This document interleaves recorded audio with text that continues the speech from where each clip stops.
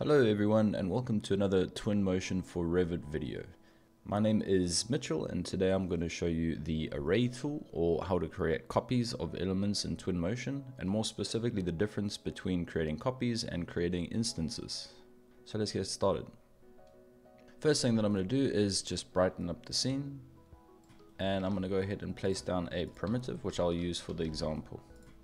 Firstly, to create a copy of an element, you can select the object, hold down the shift on your keyboard, click and drag in the direction that you would like to copy the item, and then you can let go where you will get a series of options. Firstly, we can assign the number of items in this array. So let's say three, for example, and I can also specify an exact spacing between the elements. And then here are the two examples that we're going to cover the differences between instance as well as copies. So firstly, we've got the instance option over here. So what instances do when you create instance copies is that it links the objects together in terms of the materials as well as any parameters. So if you're dealing with lighting, this would take across things like cone angles or attenuation and things like that. It links the objects together in terms of those items. So let's see that in action. If I say OK and I place down my three objects and I go to my materials folder and I just select a random material. Also pay attention to our little material assignment option over here. At the moment it's set to replace material. Even if we were to set that to apply to object or apply to selection, doesn't really matter. None of these options will affect the materials any differently than what I'm about to show now. You'll notice that if I click and drag over any one of the boxes, it doesn't matter which one I click and drag over, all four are going to be modified if I change it to apply to object, same thing still occurs. So that is the nature of creating instance copies, is that it actually connects them together and allows us to make adjustments to multiple elements simultaneously.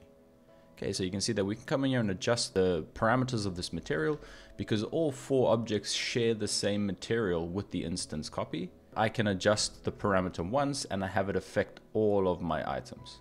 So this can be very useful if you're creating objects en masse and you would like to control them all simultaneously. Obviously, the copying has no effect on movement whatsoever, so I can still move any of the objects around without affecting the other ones. But as soon as I interact with the materials or the parameters, that's where they have a shared link between all of them. So let's take a look at the copy tool. So if I select on that object and I hold down shift and I click and drag once again, and this time I set it to copy and I'll again change the number to three. The three elements that get developed all share that initial material as you can see, but they are in no way linked back to that original item. Meaning I can come to my materials and I can assign a different material to each one of these items without it affecting the others. I'll be able to modify any parameters that I want and none of the previous objects that were created will be affected by this change. So you are creating complete individual elements that are not linked back to the original when you use the copy method. When you use instance, they all share that initial original material and you can make modifications to all of them simultaneously. Now there may be instances where you have created objects that are linked together and now you decide that you no longer want all of them to be linked together. So let's take this object right here at the end, for example. This one we want to de-link from the rest of them. So I can still do that.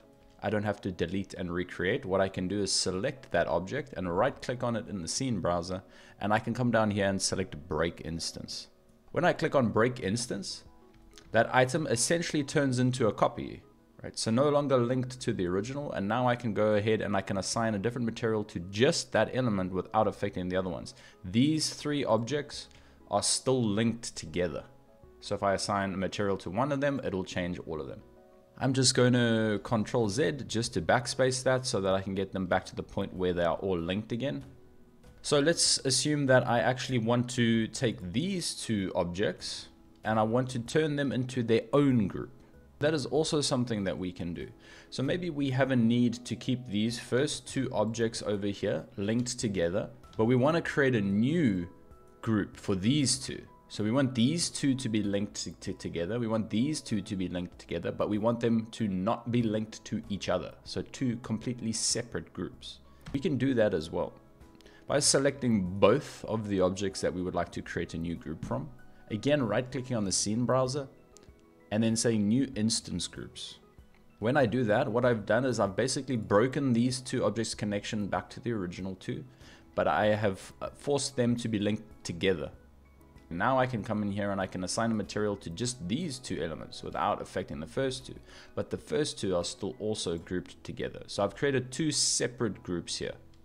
Now this same idea we can translate through to something like lighting as well. So if I darken the scene a little bit and I go and apply, let's just say a spotlight for this example, I can select my spotlight and I can of course create copies of it the same way as I do with the cube. So holding down shift, moving it along, and I can choose once again whether I want to do it as an instance or copy.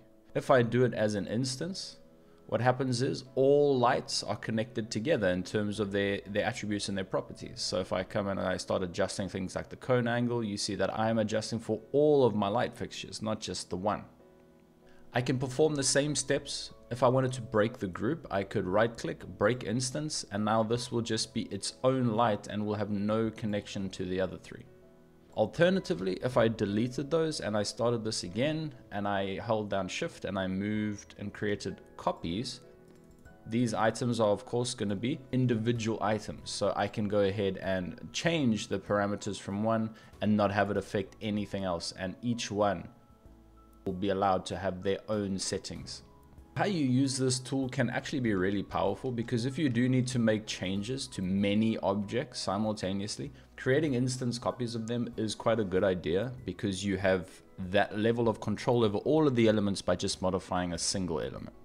If, however, you of course need more flexibility and more control, creating copies might be better or just placing the elements down one by one. That's all that I wanted to show you in this video. I hope you enjoyed it. Please let me know if you have any questions and I will get back to you as soon as I can. Thanks very much and see you in the next one.